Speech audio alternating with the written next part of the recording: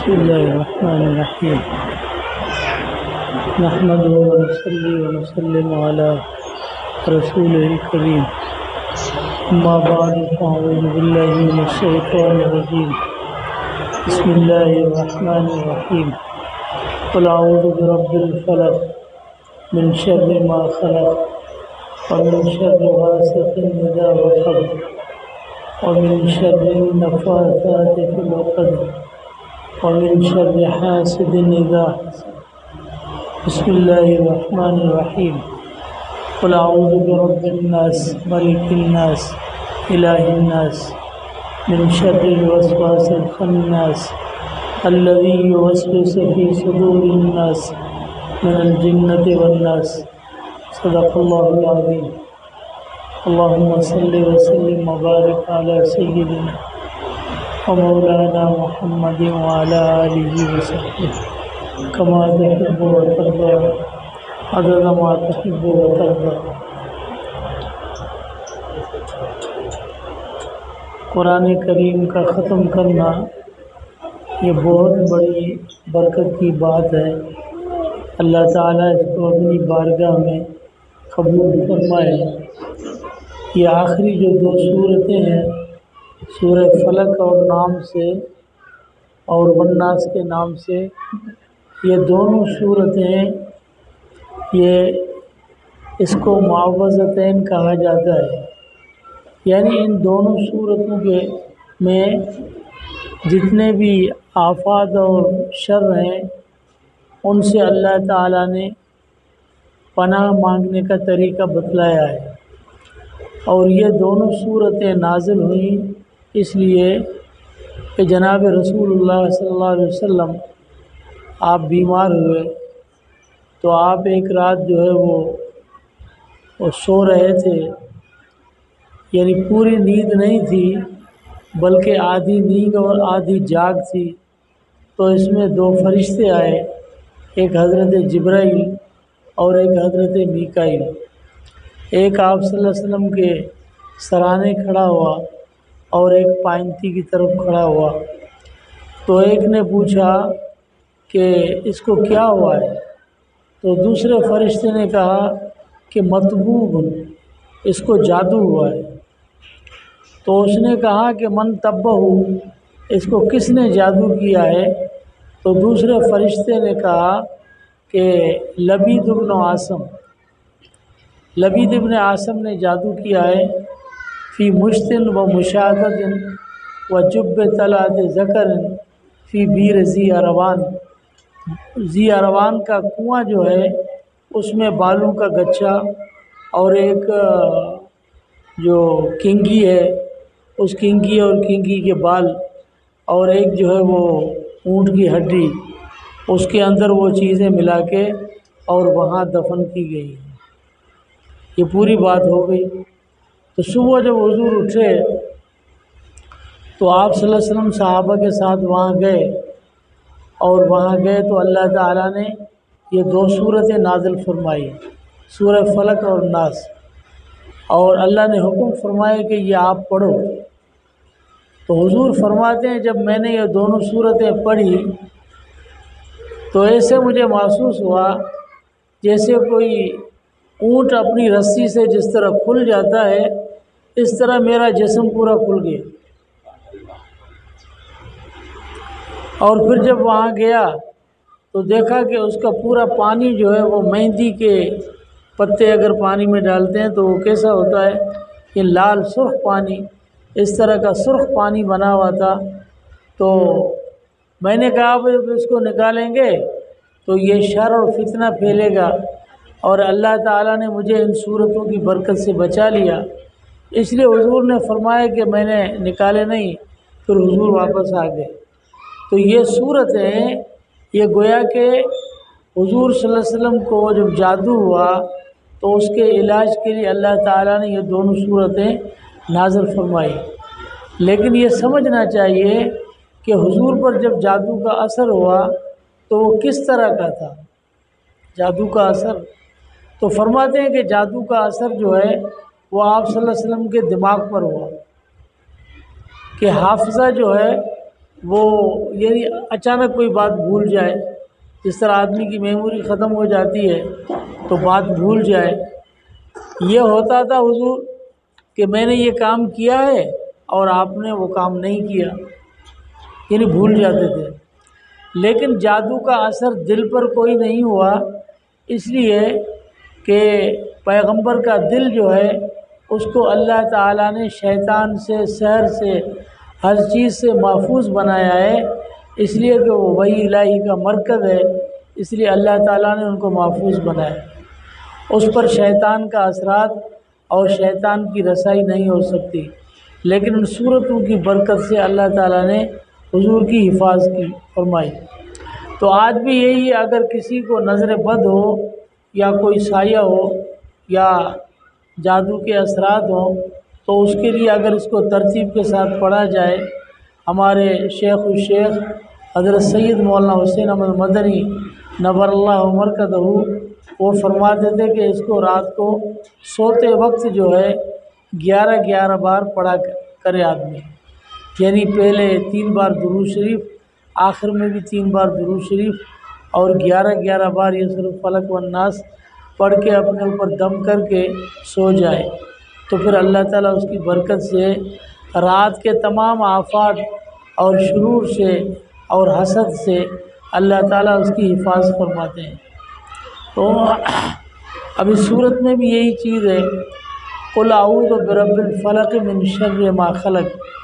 اے میرے محبوب، آپ فرما دیجیے، ان کو بتلا دیجیے کہ میں پناہ مانگتا ہوں، اس رب سے، اس رب کی پناہ میں آتا ہوں جو صبح کا رب ہے۔ فلق کی معنی ہے کسی چیز کو چیرنا۔ ان اللہ فالق الحب والنوا۔ اللہ تعالیٰ وہ ہے جو گٹھلیوں کو چیرنے والے ہیں۔ یعنی گٹھلی کو چیر کر اس سے کھجور کا تنا اللہ پیدا فرماتے ہیں۔ تو صبح کو فلک اس لیے کہا جاتا ہے کہ صبح جو ہے وہ بھی رات کی تاریکی اور اندھیری کو چیر کر ایسے صاف ہوتا ہے، اس لیے اس کو فلک کہا جاتا ہے۔ پناہ مانگتا ہوں اس رب کی جو صبح کا رب ہے، من شر ما خلق، ان چیزوں کے شر سے جس کو اللہ نے پیدا کیا۔ یعنی تمام مخلوقات کے اندر جتنے بھی شر کا مادہ ہے یا جتنے بھی شر کے پہلو ہیں، ان تمام چیزوں سے میں اس کی پناہ میں آتا ہوں۔ اور من شر غاسق اذا وقف اور رات کے شر سے جب اندھیرا پھیل جائے۔ جب اندھیرا رات کو پھیل جائے تو انسان کو سانپ بھی کاٹ سکتا ہے، سایہ بھی ہو سکتا ہے، اور ویسے بھی اندھیرے کا خوف انسان کے وجود پر سوار ہوتا ہے، اس کے شر سے بھی پناہ۔ ومن شر نفاثات فی العقد، اور ان عورتوں کے شر سے جو گرہوں کے اندر پھونک مارنے والی ہیں، ان کے شر سے۔ یہ یعنی جو جادو کرتی ہیں، جس طرح لبید بن عاصم یہودی، اس کی جو بیوی تھی، وہ خود جادوگر تھی۔ تو اس کے شر سے پناہ۔ اور من شر حاسد ایزا حسد۔ اور حسد کرنے والے کے شر سے جب وہ حسد کرے۔ حسد بھی ایسی چیز ہے کہ جس کا ایک شر ہوتا ہے، جس کی وجہ سے انسان کو نظر بد بھی لگتی ہے۔ اور نظر بد اللہ کے نبی نے فرمایا کہ وہ حق اور سچ ہے، تو نظر انسان کو مارتی بھی ہے، نظر انسان کو مفروض بھی کر سکتی ہے۔ اس لیے اس صورت کے پڑھنے سے اللہ تعالیٰ ان کے شرور سے اور شر سے انسان کو حفاظت میں رکھتا ہے۔ بسم اللہ الرحمن الرحیم۔ قلاؤد برب الناس، ملک الناس، الہ الناس۔ وہاں پر ایک رب الفلق اس کا ذکر تھا، اللہ کی صفت میں صرف ایک صفت ذکر تھی اور اتنی چیزوں کے شر سے پناہ کا ذکر تھا اور یہاں پر صرف ایک چیز کے شر سے پناہ کے لیے اللہ تعالیٰ نے تین صفتیں ذکر فرمائی اپنی قلاؤز برب الناس ملک الناس الہ الناس۔ اللہ کے یعنی انسانوں کے رب، انسانوں کے بادشاہ اور انسانوں کے معبود۔ ان تینوں کی پناہ، تینوں کی پناہ میں آتا ہوں۔ ان تینوں یعنی کہ صفت والے رب سے پناہ میں آتا ہوں۔ من شر الوسواس الخناس۔ اس شر، اس چیز کے جو وسوسہ ڈالنے والی ہے اور پیچھے ہٹنے والی۔ الدی وصف صفی صدور الناس، جو لوگوں کے سینوں میں وسوسہ ڈالتی ہے، چاہے وہ جنوں میں سے ہو، چاہے انسان میں سے۔ خناس کہتے ہیں پیچھے ہٹنے والا۔ یہ خناس اس لیے کہتے ہیں کہ شیطان جو ہے، وہ دل کے بالکل برابر میں جو پیچھے والا حصہ ہے، وہاں سے آ کر انسان کو فتنے میں مبتلا کرتا ہے اور انسان کو وسو سے ڈالتا ہے دل کے برابر والے حصے پر۔ اس لیے جہاں دل کے برابر والا حصہ تھا، جناب رسول اللہ صلی اللہ علیہ وسلم کا، اس کے بالکل برابر میں اللہ نے مہر نبوت لگا دی۔ یہ مہر نبوت جو تھی، یہ شیطان کا راستہ بند کرنے کے لیے تھی کہ نبی کے دل پر شیطان نہ پہنچ سکے اور شیطان کا راستہ بند ہو جائے۔ اور پھر حدیث میں ہے کہ یہ خناس جو ہے، یہ پیچھے سے آ کر اور دل کے برابر میں دل کے اوپر اپنی سونٹ رکھتا ہے۔ سونٹ ہوتی ہے جس طرح ہاتھی کی سونٹ ہوتی ہے، وہ سونٹ رکھتا ہے اور وہ رکھ کر وسو سے ڈالتا ہے۔ فائدہ ذکر خنس، پھر جب آدمی ذکر کرتا ہے اللہ کا، تو وہ پیچھے ہٹ جاتا ہے۔ ذکر کی برکت سے وہ پیچھے ہٹتا ہے، ورنہ وسو سے ڈالتا رہتا ہے۔ یہ وہی خناس ہے۔ پھر فرماتے ہیں کہ لوگوں میں سے بھی خناس ہوتے ہیں، انسانوں، جنوں میں سے بھی خناس ہوتے ہیں۔ یہ نہیں ہے کہ بھئی شیطان کسی خاص جو ہے نا وہ مخلوق کا نام ہے، بلکہ شیطان جب کسی انسان کے وجود میں آ جائے تو انسان بھی پورا شیطان کا مجسمہ ہوتا ہے۔ وہ کون سا انسان؟ اللہ فرمات محمد یاش و ذکر الرحمن جو رحمان اور اللہ کے ذکر سے غافل ہو جائے نقیز لہو شیطان ہم اس پر مسلط کرتے ہیں ایک شیطان فہو لہو کرین وہ شیطان اس کا ساتھی بن جاتا ہے۔ اگر کوئی اللہ کا ذکر چھوڑ دے نماز چھوڑ دے، عبادت چھوڑ دے، تو وہ شیطان کا ساتھی بن جاتا ہے۔ شیطان اس کے وجود میں مسلط ہوتا ہے۔ لیکن جب انسان ذکر کرے، نماز پڑھے، تلاوت کرے، عبادت کرے اور نیکی اختیار کرے، تو پھر انسان جو ہے، اس کے اندر فرشتوں والی قوت ہوتی ہے اور شیطان اس سے ہٹ جاتا ہے۔ اللہ تعالی ہمیں ان شرور سے حفاظ فرمائے اور انہوں نے قرآن جو ختم کیا، اللہ تعالیٰ اس کی برکات ان کو نصیب فرمائے اور ہم ان کو مبارکباد دیتے ہیں، ان کو، ان کے اہل خانہ کو کہ ان کے لیے نہایت باعث مسرت اور باعث سعادت اور باعث فخر ہے۔ اللہ تعالیٰ ان کے علم و عمل میں، اخلاص میں اور ترقی عطا فرمائے اور اس گھر کو اللہ تعالیٰ دین کا مرکز بنائے اور اپنے خاص نیکیوں اور عبادتوں کے لیے اس گھر کو اللہ تعالیٰ قبول فرمائے۔ اور جمی اہل خانے کو اللہ تعالیٰ برکات نصیب عطا فرمائے۔ آخر دعوان الحمد للہ رب العالمین۔ اور اللہم صلی وسلم مبارک علی سیدنا و مولانا محمد وعلى آلہ وسلم کما تحب و ترضى عدد ما تحب و ترضى ربنا اغفر لنا ولإخواننا الذين سبقونا بالإيمان۔ ولا تجل في قلوبنا غلا للذين آمنوا. ربنا إنك رؤوف رحيم. اللهم آنس وحشتنا في قبورنا. اللهم ارحمنا بالقرآن العظيم. واجعله لنا إماما ونورا ورحمة اللهم ذكرنا منه ما نسينا. وعلمنا منه ما جهلنا. وارزقنا تلاوته آناء الليل وآناء النهار. واجعله لنا حجة يا رب العالمين. اللهم إنا نسألك رضاك والجنة ونعوذ بك من سخطك والنار. ربنا إننا آمنا. فاغفر لنا ذنوبنا وقنا عذاب النار.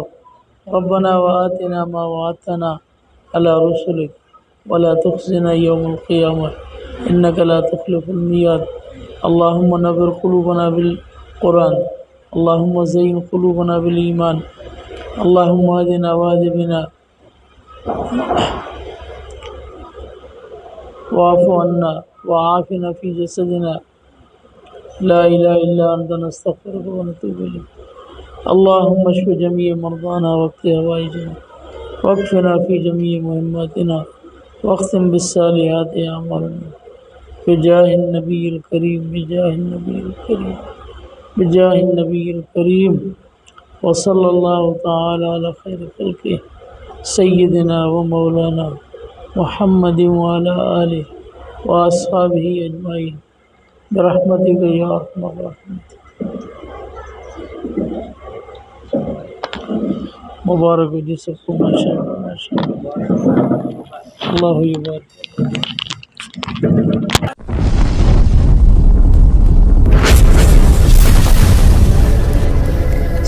subscribe my YouTube channel.